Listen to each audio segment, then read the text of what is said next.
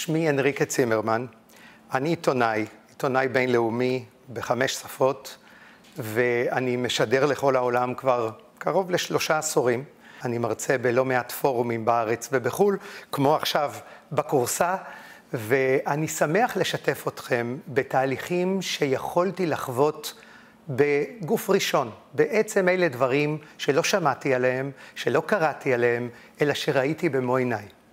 דברים שחוויתי על בשרי במשך בעיקר העשור האחרון, שהוא כנראה המשבר הגדול ביותר באסלאם ובמזרח התיכון מאז הנביא מוחמד.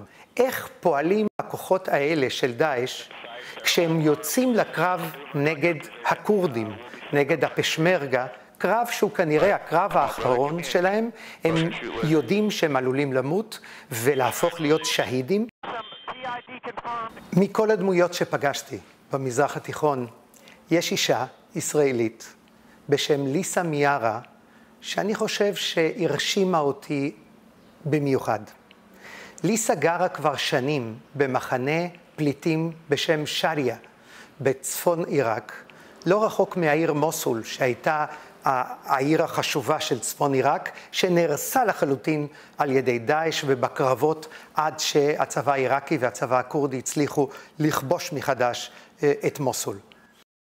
אחד הסיפורים המוזרים שהיו לי ושקשור לכל התופעות שאנחנו מדברים עליהן, תופעות הטרור והשינויים במזרח התיכון, שמו עומר אוסמה בן לאדן.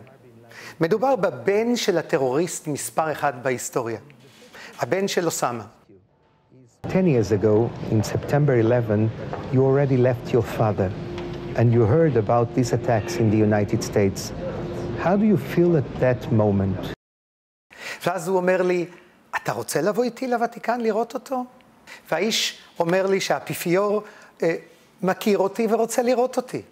פתאום נפתחת הדלת, נכנס איזה מלאך בלבן עם חיוך עד כאן, הוא חבר גדול של העם היהודי, של מדינת ישראל, ואני מקווה שהוא יוכל לתרום קצת בצורה צנועה לשקט באזור שלנו, באזור שבו עברנו פסיפס דמויות שהוא מרתק, אבל שבעצם אלה האנשים שאתם פחות מכירים, שכולם פחות מכירים, אבל שיש להם השפעה יומיומית על ההיסטוריה ועל החיים שיהיו לנו בעשור הקרוב באזור הזה.